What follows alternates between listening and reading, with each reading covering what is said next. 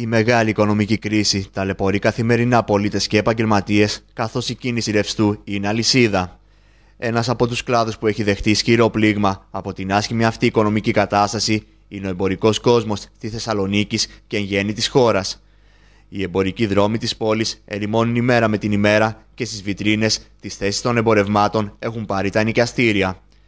Χαρακτηριστικό παράδειγμα της πόλης μας αποτελεί ο οδό Βαλαωρίτου που από εμπορικός δρόμος έχει μετατραπεί σε δρόμος εστίασης και διασκέδασης. Ο αντιπρόεδρος του Εμπορικού Συλλόγου Θεσσαλονίκης, κ. Φιλιππίδης Παντελής, περιέγραψε την άσχημη κατάσταση που επικρατεί στα εμπορικά καταστήματα της πόλης με το ισοζύγιο αυτών που άνοιξαν με αυτών που δεν απέφυγαν το κλείσιμο να είναι αρνητικό και τα λουκέτα να έχουν αυξητική πορεία χρόνο με το χρόνο. Δυστυχώς τα πράγματα είναι πάρα πολύ δύσκολα. Ό,τι ακριβώς βλέπετε εσείς στον δρόμο, βλέπουμε κι εμείς αλλά με τη μόνη διαφορά ότι εμείς το αισθανόμαστε και στο ταμείο της επιχείρησης. Δυστυχώς δεν υπάρχει κατανάλωση, δεν υπάρχουν καταναλωτές που μπορούν να ξοδέψουν πλέον ή και αυτοί που μπορούν να ξοδέψουν δεν το κάνουν γιατί είναι τρομαγμένοι. Εδώ υπάρχει ένα σοβαρό πρόβλημα και αν δεν διορθωθεί άμεσα, δυστυχώς τα λουκέτα θα είναι πολύ περισσότερα από αυτά που βλέπουμε σήμερα. Εκείνο που θα πρέπει να συγκρίνουμε είναι το πόσε επιχειρήσεις κλείσανε φέτος και δυστυχώς δεν γίναν καινούριες και το πόσα άδεια μαγαζιά βλέπουμε στους δρόμους της ε, πόλης Θεσσαλονίκης και αν θα κάνουμε τη γύρα γενικότερα σε όλη της Ελλάδα. Αυτό πρέπει να δούμε και αυτό πρέπει να μας προβληματίσει και να μας τρομάξει. Κύριο ρόλο στη ρευστότητα παίζουν οι τράπεζες, στις οποίες ο κύριος Φιλιππίδης καταλογίζει μεγάλο μερίδιο ευθύνης για την άσχημη υπάρχουσα κατάσταση, ενώ από την κυβέρνηση ζητά να λάβει αναπτυξιακά μέτρα. Δυστυχώς φοβάμαι ότι το μεγάλο πρόβλημα είναι οι τράπεζες. Και φοβάμαι ότι οι τράπεζες δεν έχουν λειτουργήσει ποτέ τις όποιες φιλότιμες προσπάθειες και τη προηγούμενη κυβέρνηση αλλά και αυτή τη κυβέρνηση, οι οποίες πραγματικά υπήρξαν. Υπήρξαν προτάσεις καταπληκτικές, όπως ήταν ο νόμος Ανάσα της κυρίας Κατσέλη, ο οποίος δεν λειτουργήσε σε πολύ μεγάλο μέρος, δεν έδωσε την αναμενόμενη ανάσα και δυστυχώς τα πράγματα καθημερινά γίνονται χειρότερα. Εάν δεν, πάρουν, αν δεν καταλάβουν οι τράπεζες ότι θα πρέπει να ανοίξουν τη ρευστότητα για να μπορέσουν να εισπράξουν τα χρήματα που χρωστάνε οι εμπορικές επιχειρήσεις, φοβάμαι ότι δυστυχώς τα χρήματα δεν θα μπορέσουν να πληρωθούν από τις εμπορικές επιχειρήσεις και ο χαμένος στην προκειμένη περίπτωση θα είναι ο καταθέτης.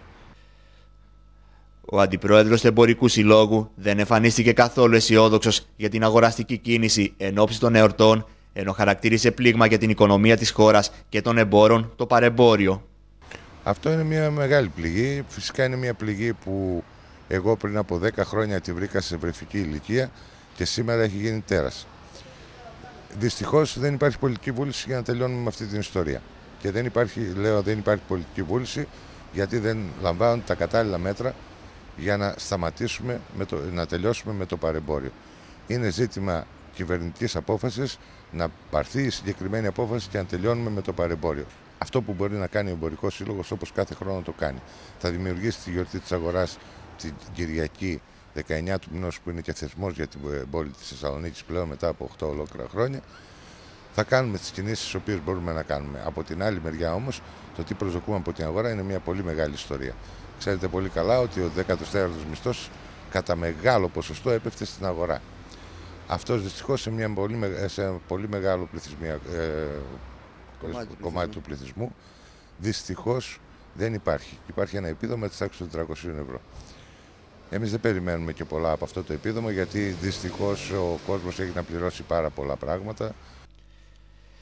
Παρά τη φθήνουσα πορεία της εμπορικής κίνησης, οι εγγραφές στον Εμπορικό Σύλλογο Θεσσαλονίκης είναι αυξημένες, τονίζει ο κ. Φιλιππίδης, εξηγώντας πως οι επαγγελματίες επιθυμούν τη συνδικαλιστική τους εκπροσώπηση.